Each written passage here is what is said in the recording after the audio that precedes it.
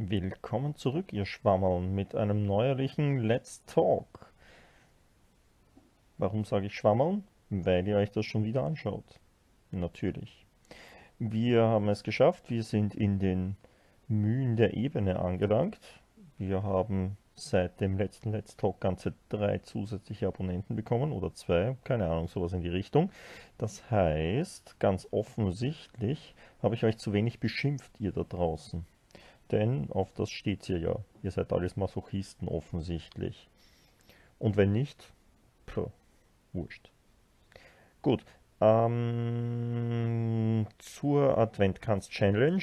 Wie schon das letzte Mal gesagt, es gab nur einen Bewerber, der hat dadurch gewonnen. Willkommen, liebe 6C. Ihr habt es geschafft in diesem äh, Let's Talk und ich möchte euch an dieser Stelle versichern, ihr wollt nicht, dass ihr mich nächste Woche seht, weil ich habe vorhin gerade die letzten eurer Protokolle verbessert und glaubt mir, die waren keine Freude zu verbessern. Es war schrecklich. Es war sehr, sehr schrecklich. Und dementsprechend will ich euch auch gar nicht mehr weiter grüßen. Und tschüss. Hm. Das war die Adventkranz-Challenge. Ich muss schauen. Ach ja, genau. Der Hauptgrund, warum ich das jetzt gerade mache, ist der, dieses Wochenende hatte ich Familie hier. Bin deswegen überhaupt nicht zum Computer gekommen. Ich habe deswegen auch, glaube ich, nur ein einziges Mal oder zweimal vielleicht irgendein Video hochgeladen und mit dem werde ich es dreimal geschafft haben. Das mag jetzt viel wirken für ein Wochenende, aber nachdem das Wochenende ja schon am Mittwochabend begonnen hat, ist es eigentlich gar nicht so viel. Ja, Entschuldigung. Das meine ich ehrlich. Gut. Ja, meine Tochter hat mir verboten, dass ich auf YouTube singe, deswegen tue ich das jetzt auch nicht. Ähm, deswegen möchte ich euch anraten, nachdem ihr mich jetzt nicht zum Singen hört, dass ihr aufhört, YouTube-Videos zu schauen und viel mehr anfangen solltet, richtig zu denken. Was bedeutet richtiges Denken? Das bedeutet, ihr stellt euch zu irgendwelchen alltäglichen Sachen Fragen. Ich weiß, das mag etwas schwierig für einige von euch sein, für viele wahrscheinlich, weil jahrelanges Glotzen in den Bildschirm und und Begaffen von irgendwelchen Leuten, die sich zum Affen vor ihnen machen, macht geistig träge, sagen wir es mal so. Ähm, aber hier ein paar Anregungen. An was könntet ihr denken? Ihr könntet euch zum Beispiel die Frage stellen, warum ist der Himmel blau? Ist doch eine schöne Frage. Die könntet ihr euch stellen und dann könntet ihr euch überlegen, hm, habe ich das schon gegoogelt? Und dann googelt ihr es dann habt ihr immerhin irgendetwas gelernt. Oder ihr würdet anfangen, euch Hypothesen dafür auszudenken. Der Himmel könnte zum Beispiel blau sein, weil irgendein Riese am Anfang der Welt eine riesige Schlacht geführt hat mit einem anderen Riesen und beide Riesen haben sich gegenseitig so lange die Köpfe eingeschlagen, bis die Hirnmasse über die Erde geronnen ist und das dauert noch immer an und diese Hirnmasse ist so blau und deswegen ist der Himmel blau. Das ist gut. Hm. Müsste man überprüfen versuchen. Oder ihr überlegt euch zum Beispiel, warum ist in der Europahymne folgende Textpassage und ich darf die jetzt leider nicht singen, weil wie schon gesagt, meine Tochter hat mir das verboten. Also ich halte mich normalerweise nicht an Verbote, aber in dem Fall Wer weiß, vielleicht schafft sie es, die Festplatte zu erasen und das wäre nicht schön. Also, auf jeden Fall, ähm, in der Europahymne gibt es die Textzeile, wartet, ich muss das ablesen. Deine Zauber binden wieder, was die Mode streng geteilt. Ich habe einige Theorien, was das bedeuten soll, aber nachdem ich sie heute kurz gehört habe, die Europahymne nämlich, habe ich mir gedacht, ob das richtig ist, was ich mir da denke, kann ich nicht so genau sagen. Vielleicht wisst ihr das ja. Man müsste das im historischen Aspekt betrachten, weil immerhin ist das schon eine relativ alte Hymne. Man müsste sich halt überlegen, woher kommt das? Wohin geht das? Was will uns der Autor sagen? Oder ihr stellt euch eine dritte Frage und ähm, oder einfach noch irgendeine andere Frage, aber die dritte Frage, die ich euch quasi an den Kopf werfe, ist, warum sind Kaninchen so kuschelig? Ja, und damit bin ich schon am Ende meines Let's Talks angelangt und mit einer neuen Challenge für euch. Die neue Challenge wird lauten die Kaninchen-Challenge. Kaninchen-Challenge sagt ihr jetzt? Ja, ich möchte, dass ihr süße, knuffige Kaninchen findet und mir postet. Sind Kaninchen wirklich alle knuffig? Oder gibt es auch bösartige, struppige? Und warum ist das Kaninchen das Wappentier der türkischen Hauptstadt Ankara? Weiß das jemand von euch? Diese Fragen und viele mehr werde ich euch vielleicht im nächsten Let's Talk beantworten. Aber vielleicht seid ihr ja klug genug und könnt ihr euch selber beantworten. Wenn ihr nicht klug genug seid, dann bleibt mir nur eins, euch wüst zu beschimpfen. Kröten ist ein gutes Wort. Ich glaube, das habe ich noch nicht oft ver verwendet. Oder ekelige Erdwürmer. Ekelige Erdwürmer, das ist gut. Dabei bleiben wir. Ist besser als ekelige Egel. Gut, und bis zum nächsten Mal wünsche ich euch viel Spaß und vielleicht sehen wir uns dann nochmal. Bis dann. Ah ja, und jetzt viel Spaß mit dem Let's Play. Hahaha, ha, ha, ha. ihr habt es schon nicht einmal bis hier, hierher geschafft und schaut euch das Let's Play auch nicht an. Herzlich willkommen zu meinem neuen Let's Play Victoria 2. Wir sehen weiters, was wir hier haben. Wir haben ein mittlerweile sehr starkes Österreich. Leider haben wir auch ein relativ starkes Deutschland mittlerweile an unserer Nordflanke. Äh, Russland und also vor allem Russland ist natürlich nicht sehr stark. Frankreich ist schon stark. Ich bin mir nicht sicher, ob Deutschland nicht gegen Frankreich gewinnen würde mittlerweile. Hm, schwer zum sagen. Immerhin haben sie Russland als Bündnispartner. Gut wir versuchen einmal, wir versuchen einmal unser Glück weiter. Wir werden in den nächsten Jahren etwas mehr in Militärtechnologie stecken. Wir haben jetzt recht viel unsere Technologie ausgebaut. Wir werden jetzt eher unser Heer weiter ausbauen. Schon allein deswegen, weil ich fürchte, dass Deutschland uns relativ bald wieder angreifen wird. Und so gesehen macht das durchaus Sinn, wenn wir hier ein wenig weiter investieren. Wir haben auch weiter versucht, wir werden auch weiter versuchen, da noch mehr Forts zu bauen an unseren Grenzen. Und dass unsere gesamte Grenze mit Forts besetzt ist. Ich hätte mal da drüben in Italien anfangen sollen, das ist immer das Gebiet, ein bisschen problematisch sein kann. Äh, Spanien hat jetzt auch Rebellen. Hm. Die Arbeiter im staatlichen Arbeiterkomitee in einer unserer Provinzen haben vorgeschlagen, allen Arbeitern einen zusätzlichen Tag pro Jahr freizugeben. Was? Ihr wollt einen zweiten freien Tag im Jahr? Seid ihr wahnsinnig? Das nächste Mal kommt vielleicht auch noch die Idee und wollt, dass, dass ihr am Tag maximal 14 Stunden arbeiten dürft. Niemals. Bevölkerung ist ah, zurück an die Arbeit, genau. Wir lassen uns doch nicht von Ihnen zu einem Arbeitergesocks dazu überreden, dass sie weniger arbeiten müssen. Unglaublich.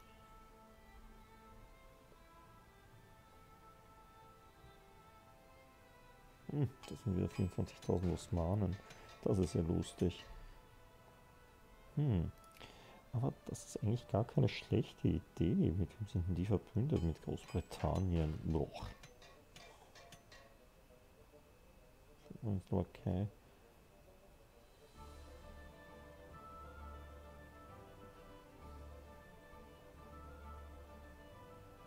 Zwei Militanz, eins Bewusstsein, eins Bewusstsein.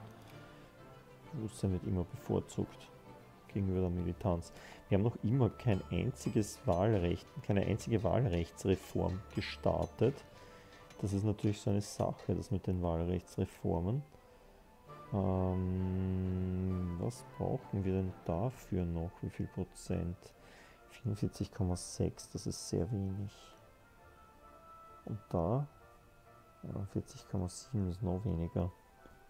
Naja, das heißt, die Militanz im Reich muss noch weiter steigen. Das lässt sich sicher einrichten, so wie wir spielen.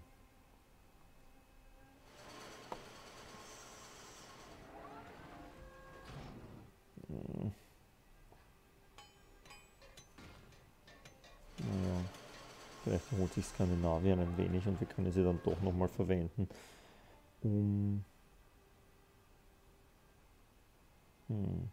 Alle Bevölkerung Somaliland, der Prozentsatz der Leute unterstützen sozialistisch, verlieren zwei Bewusstsein und kriegen vier Militanz. Nö. Hm. Auch nicht wirklich besser. Naja, nehmen wir das. Oberschicht gibt es nicht so viel in Somaliland. Die drei Leute werden überleben, wenn sie ein bisschen mehr Militanz haben. Hm, wir werden sie respektieren. Wir sind nicht so. So, die 10. Armee, wo schicken wir die hin? Auch an die Grenze. Und zwar, wohin, an welche? Karlsburg, äh, Karlsbad oder Katowice? Oder Liegnitz? Hm. Einmal Katowice.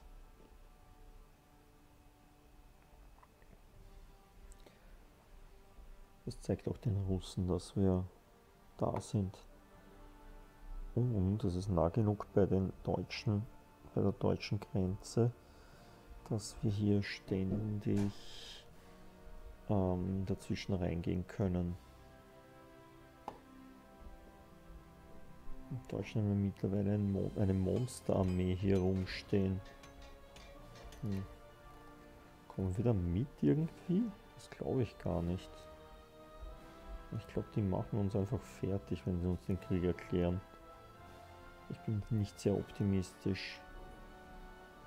Naja, schauen wir mal.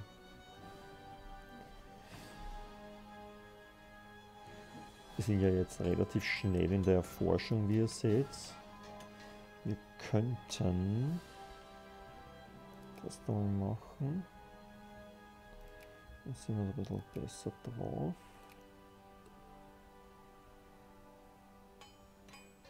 Ein bisschen mehr Moral im Kampf. Und wir werden dann noch weiter ausbauen an der Grenze. Mensch kriegt auch eine ein Vor.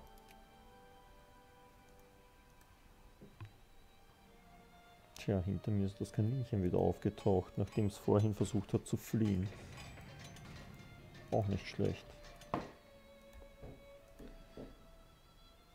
Mhm, mhm. Noch mehr Steuereffizienz. Oh, plus 5% Fabrikdurchsatzeffizienz. Sehr gut, sehr gut. Unsere Fabriken werden immer besser.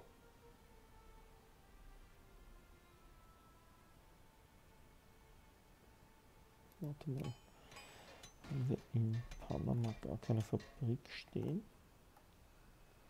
Doch, wir haben eine Fabrik stehen, aber die ist wahrscheinlich geschlossen. Ja, das ist so sinnlos. Die Fabriken in Panama. Für die zwei, vier Leute, die da sind, braucht man die eigentlich gar nicht bauen.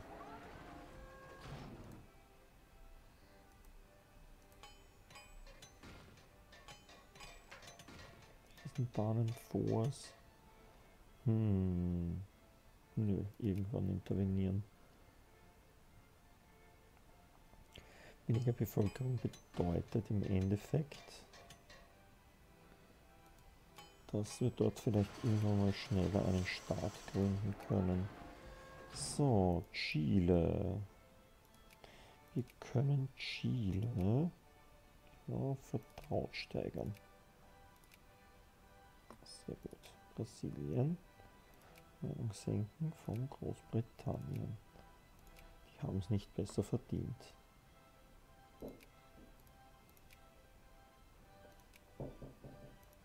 Russland mag uns noch, Japan mag uns noch, Deutschland nicht, Nanona. Skandinavien mag uns und wir werden die bessern. Hätten die ja eine sozialistische Regierung, die Skandinavier. Na schau an.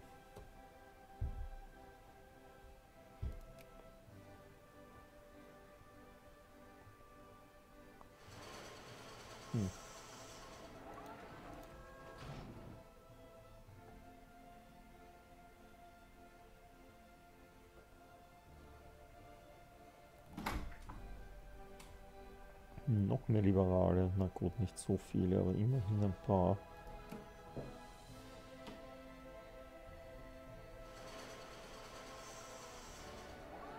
Mit 4% Militanz geht es sich wahrscheinlich trotzdem noch nicht aus, dass wir, dass wir was Neues äh, machen. Wir könnten natürlich wieder die Regierungspartei wechseln. Das wird die Militanz auch steigern. Vielleicht könnte man dann was machen. Hm.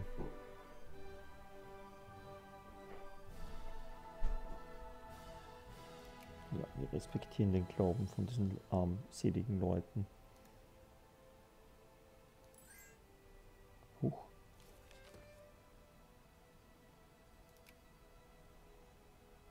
Und erneut versuchen die Deutschen es. Ach, bitte sagen wir, dass Großbritannien nicht dabei ist. Großbritannien ist nicht dabei. Danke. Ha. Nimm das, Deutschland. Äh, wir machen wieder das gleiche wie letztens. Wir nehmen wieder die Radikalen an die Regierung. Und wir ändern das mit dem Haushalt ein bisschen. Zölle runter auf 0%. Dafür die Militärausgaben auf 100%. Ach Gott.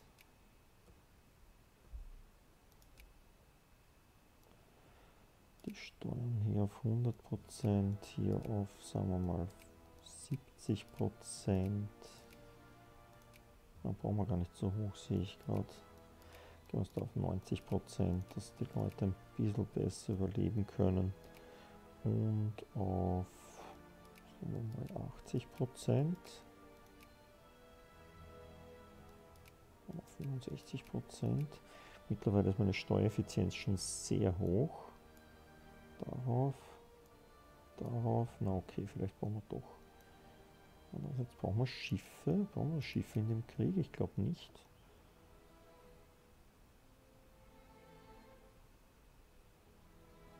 Gut, Württemberg, Bayern und Baden haben wir mal die Reserven.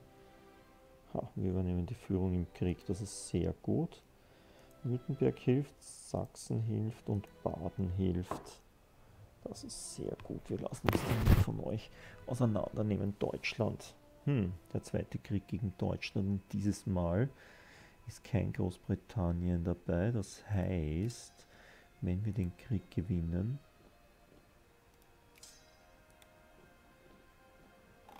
Warte mal, warte mal, warte mal, du bleibst mal da. Die kommen sicher da irgendwie. Nein, doch nicht, die gehen nach Halle. Ah, komm schon. Komm da rüber zu mir. Sei ein guter, guter Deutscher. Geh da rüber und lass dich von uns erobern. Äh, lass dich von uns in die Falle locken.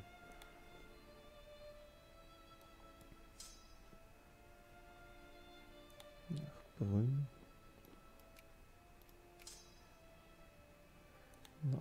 Prag. Nach Puh, Raditz Karlovac. So. Dann haben wir hier noch 30.000 Mann, die nach Troppau gehen. Und 30.000 Mann, die nach Tessin gehen. Hm.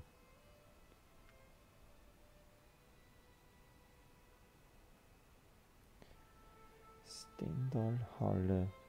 Wir müssen auf jeden Fall verhindern, dass Sachsen schnell aus dem Krieg rausfällt. Vielleicht könnten wir, wir gehen nach Posen. Hier geht's mal nach Küstrin. Vielleicht können wir ihm dort eine Falle stellen. Jetzt. Küstrin kann man von zwei Seiten beschützen.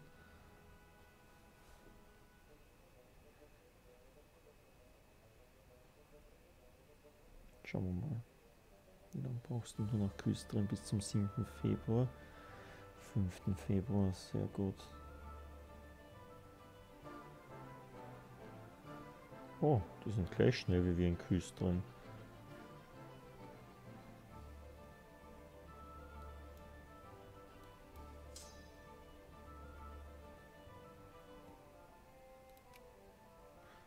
Das war nicht gut. Jetzt greifen wir ihn an und nicht er uns. Das war nicht gut. Ach, geh.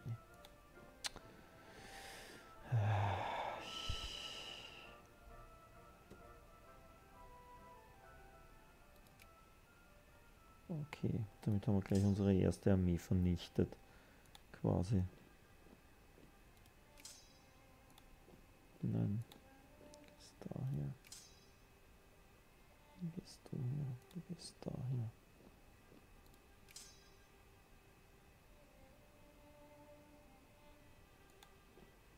Nein. Du gehst auch daher. So, hier kommt sie gerade nach. Du ist daher für den Fall, dass die Deutschen auf die Idee kommen, mit Schiffen hier anzulegen, aber das kann ich mir eh nicht vorstellen. Was weiß ich, was weiß schon ein Fremder. Oh, Gott es gedankt. Wir sind noch rechtzeitig mit den Leuten dazugekommen. So, 14.000 Mann. Können wir euch nach rückwärts schicken? Das wäre schön, wenn wir euch da wegschicken könnten.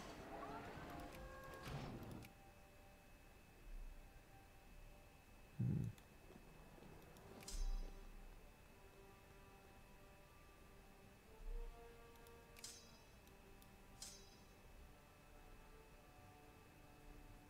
Gehst du hin nach Stettin? Ah, sie haben auch mobilisiert. Boah, das ist ein Wahnsinn, wie viele Truppen der hat. Unfassbar eigentlich. Wie macht das der Computer?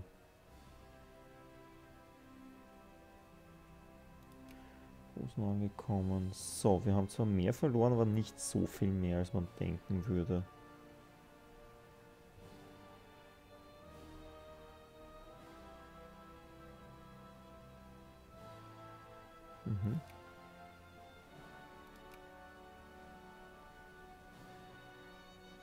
So, der geht nach Kohlberg. Wo ist denn Kohlberg? Da oben. Der geht nach Prenzlau. Hm.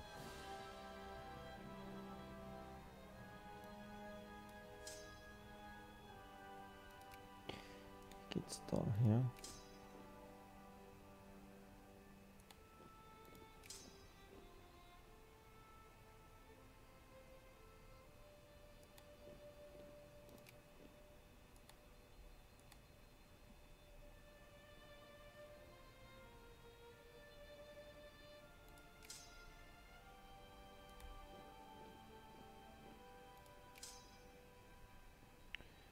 So, auch nach Liegnitz. Gehst du mal dahin und unterstützt die mal beim Erobern. Die 20.000 will ich auch erledigen. Wir müssen auf jeden Fall verhindern, dass die aus dem Krieg ausscheiden schnell. Hm, vielleicht sollten wir... Na, zuerst versuchen wir mal da diese Leute aufzureiben.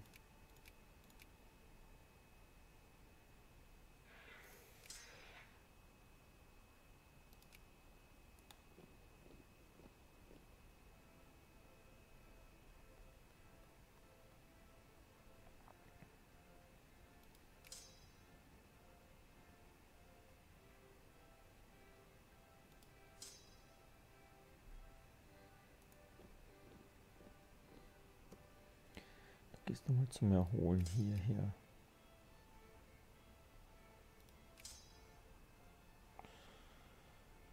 Hm. Gehst mal daher mal schauen. Ja, du gehst daher und du gehst daher.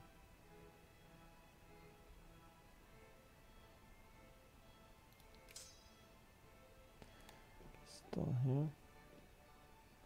Habe ich noch Truppen zur Verfügung? Dann habe ich 90.000 Leute rund um Dresden.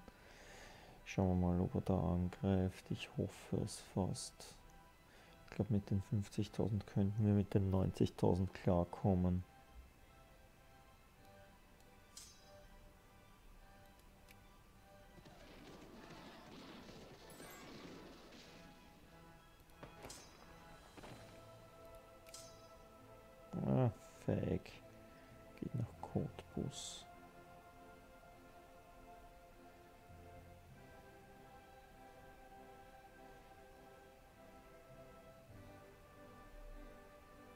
Nö, nö, nö, nö, nö.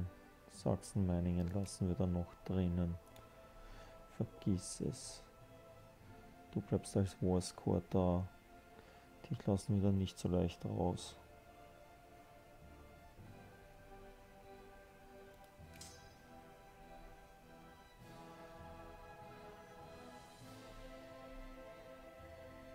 Siebenundzwanzigsten Februar.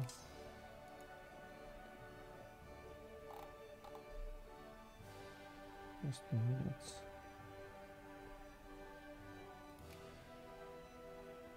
Ah, ah, nicht gut, nicht gut, nicht gut. Wo geht der hin? Nach Küstrin. Du gehst auch nach Küstrin. Du gehst auch nach Küstrin.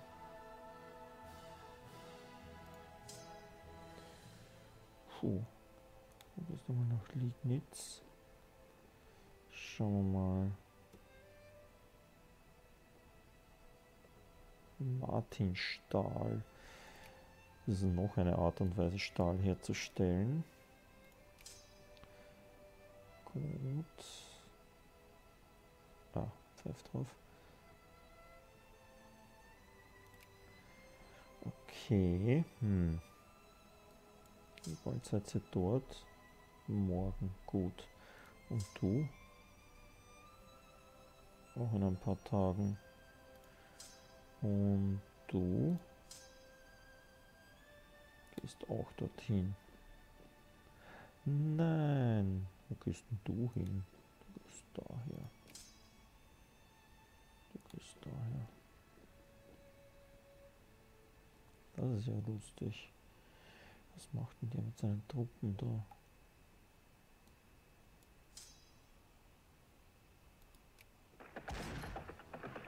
Ah, schießt sie aus dem Wald.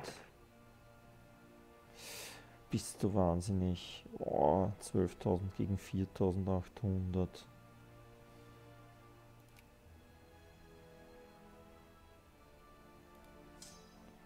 Du gehst dorthin, du gehst dorthin, gut. Wo gehst du hin? Nach Stettin. Ah, wir sind noch fast vollzählig alle. Mit etwas Glück sind wir sogar vor ihm dort.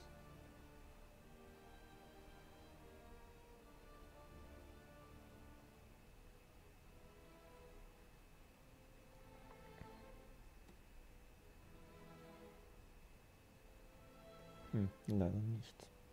Das wäre auch zu einfach gewesen. Komm schon.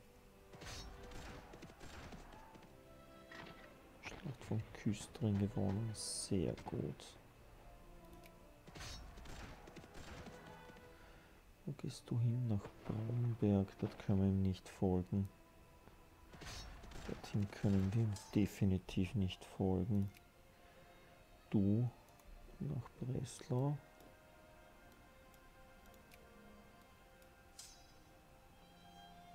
Du nach Liegnitz.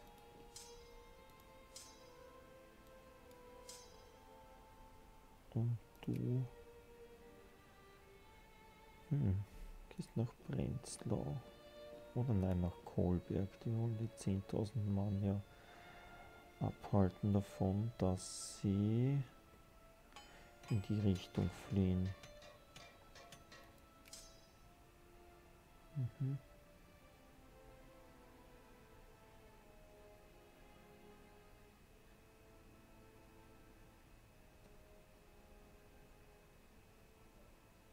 Sehr gut, Leipzig haben wir zurückerobert. Das sollte den Sachsen helfen, dass sie etwas länger hier bleiben im Kampf. Kronberg, gut.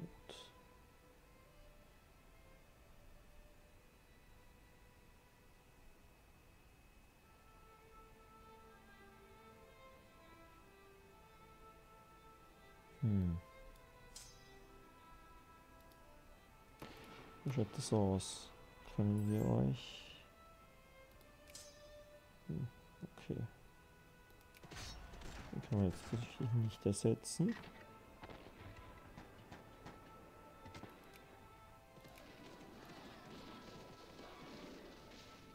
Wo ist eine Gumbinenarmee? Ah!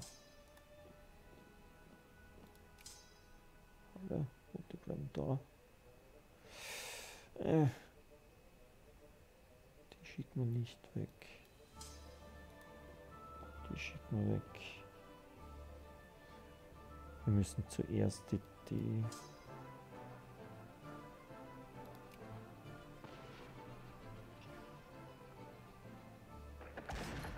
Wir müssen zuerst seine ganzen Truppen vernichten. Stettin haben wir gewonnen. Ah, die rennen noch immer weiter.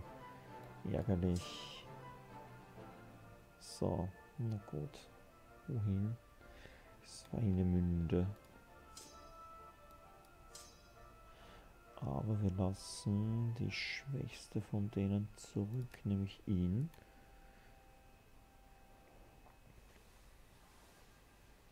Wo gehst du hin? Nach Oppeln. Okay. Nein, interessiert mich nicht. Posen gewonnen, sehr gut.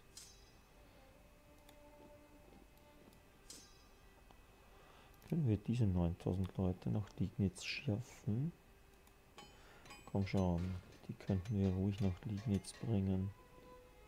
Wir haben was?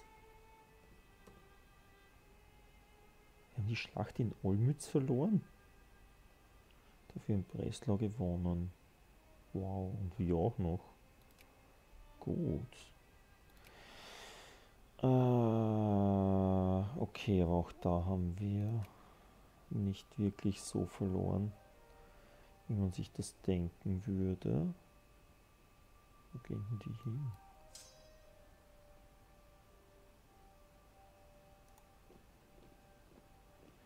Das ist ja interessant, was die da machen.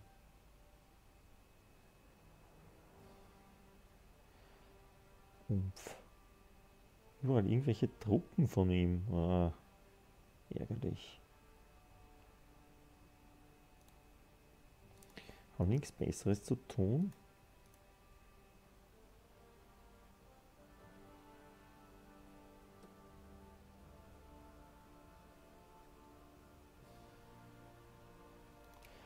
Gut, Halle haben wir gewonnen. Das heißt, ihr werdet jetzt darüber gehen und die, die unterstützen. Könnten wir hier bitte diesen Kampf so gewinnen, dass danach kein Typ mehr von ihm übrig ist? Schwerende Beleidigung. Kriegsgrund gegen Afghanistan. Hm. Na okay. Soll sein. Hey, wir haben eine Ölpumpe entdeckt. Das hilft uns nicht wirklich viel, weil wir keine Ölproduktion haben bei uns im Land, aber was soll's. So, wir sind in Raditz Kralowetz angekommen. Wohin gehen denn die? Nach Karlsbad? Könnten wir das auch? Nein. Genau, bis 2. April, also bald.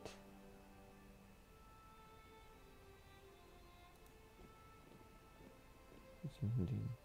Karlsbad am 7. April, das geht sich sicher nicht aus.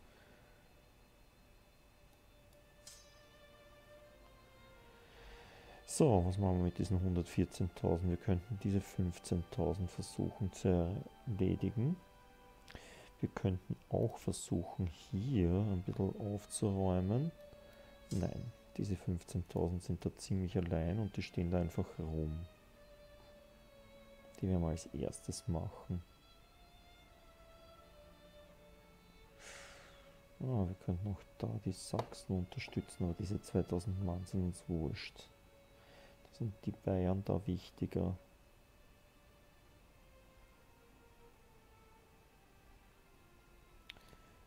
Hier geht es da einfach nach. Mal schauen, ob die noch irgendwie erwischen können. Diese zwei Einheiten da. Das wäre schon irgendwie wichtig. Sehr gut, sehr gut, sehr gut, sehr gut. Wir haben sie aufgerieben. Gut, ihr geht's daher und schauen wir mal, ob wir diesen 2000 Mannen noch helfen können.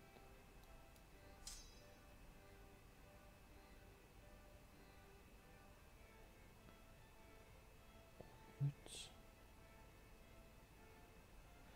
sind wir dort am 4. April.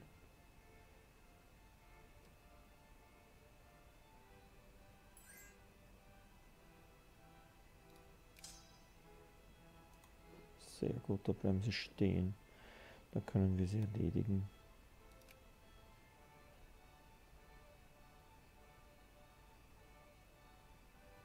Ja, und auch diese 14.000 könnten wir bald besiegt haben.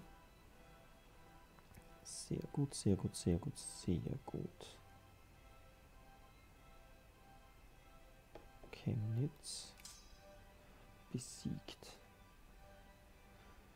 5000 Mann, die hier rumstehen. Ja, da kann man nicht durchgehen. Nee, nee, nee, nee. Freund und Zwetschgenröster. 5000 Mann hier. Nein, nein, nein, nein, nein, nein, nein. Hier geht's daher. Das ist besser.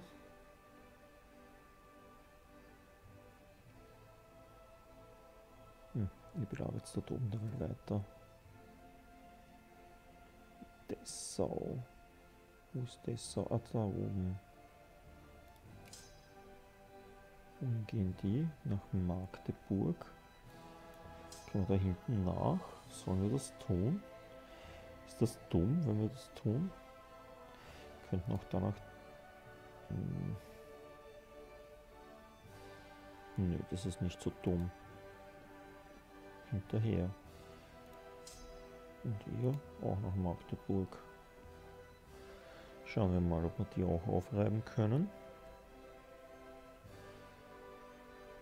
Cottbus haben wir auch gewonnen. Und zwar wir auch noch. Görlitz gehen die. Naja, die sind schon relativ schwach mittlerweile, aber ich glaube, wir könnten hier trotzdem gewinnen. Na komm schon.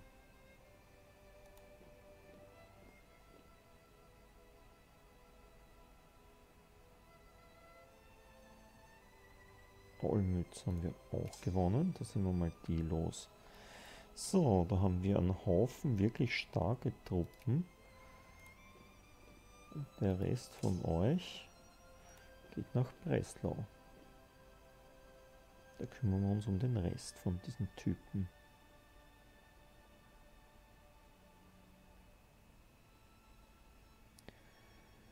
Sehr gut. Schaut gut aus, schaut gut aus, schaut gut aus.